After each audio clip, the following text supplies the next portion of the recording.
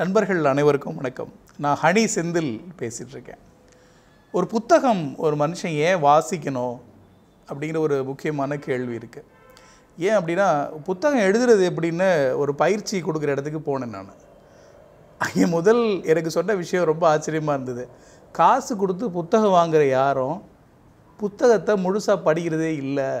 அதனால் புத்தகம் எழுதுறதை பற்றி இன்றைக்கி ஒன்றும் பெருசாக ஒரி பண்ணிக்காதீங்க. ஒரு பேரும் படிக்க போகிறது இல்லைன்னாங்க பட் என்னை வந்து இந்த புக்கு படித்தேன் இது என்னை மாற்றிருச்சு என் லைஃபையே புரட்டி போட்டுச்சுன்னு இன்னொரு டைப் ஆஃப் பீப்புள் பெரிய பர்சனாலிட்டிஸ் தொடர்ந்து சொல்லிக்கிட்டே இருக்காங்க. அப்போ புத்தகம் வந்து நம்மளை என்ன பண்ணும் ஏது பண்ணும் அப்படிங்கிறத நம்ம எக்ஸ்பீரியன்ஸ் பண்ணால் மட்டும்தான் புரிஞ்சிக்க முடியும்.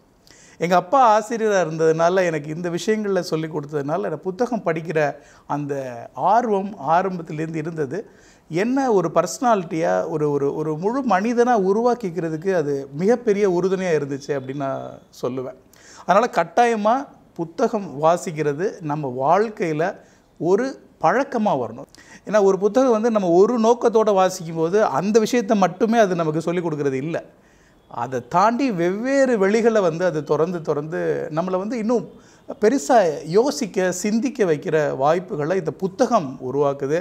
கட்டாயமாக புத்தகம் வாசிக்கிறத புத்தகம் கேட்குறத ஒரு பழக்கமாக நீங்கள் வச்சுக்கலாம். எனக்கு வந்து இந்த நூல் நான் வந்து இன்றைக்கி உங்ககிட்ட பகிர்ந்துக்க விரும்புகிற நூல் வந்து ஹூ மூடு மேச்சிஸ்னு ரொம்ப எளிமையான புத்தகம். நான் என்னோடய இருபத்தஞ்சாவது வயசில் அதை படிக்கிறேன். கல்லூரி முடிஞ்சு ஒரு இடத்துல ஒர்க் பண்ணிட்டு இருக்கும்போது என்னுடைய கல்லூரி நண்பர் ஒரு பேர் கூட நினைவிற்கு மிஸ்டர் வினோத்குமார் அவர் எனக்கு இந்த நூலை வந்து பரிந்துரைக்கிறார். செந்தில் இதை நீங்கள் கட்டாயம் படிக்கணும். ஒரு உரையாடலுக்கு அப்புறம் அந்த நூலை பற்றி எனக்கு பரிந்துரைக்கிறார். ஏங்க இங்கிலீஷ் புக்கெலாம் நம்ம எங்கெங்கே படிக்கிறது? அதெல்லாம் இல்லை இதை வாசிங்க அப்படின்னு சொல்லி சொன்னார். அது ரொம்ப எளிமையாக ஒரு ஒரு ஒரு ஒரு மாற்றத்தை எதிர்கொள்ளக்கூடிய மனநிலையை பற்றி குழந்தைக்கு சொல்கிற மாதிரி சொல்லி கொடுக்குது.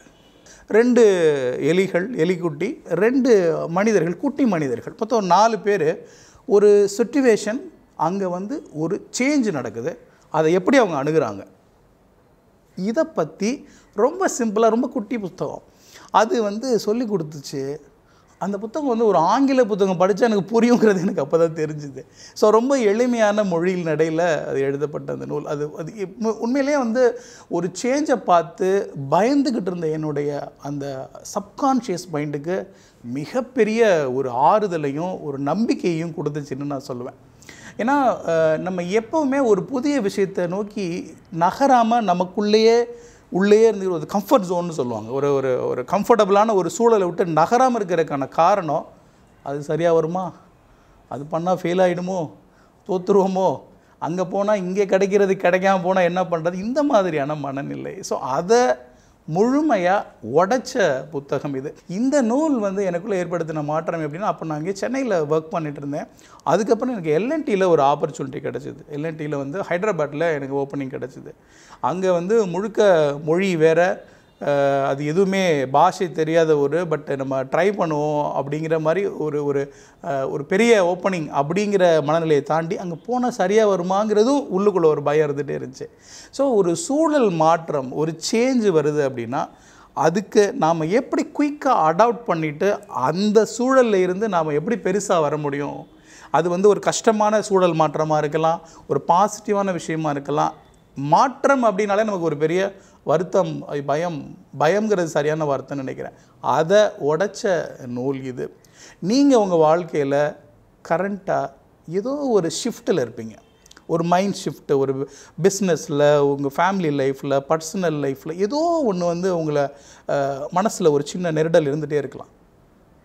இந்த நூல் உங்களுக்கு மிகப்பெரிய உதவியாக இருக்கும்.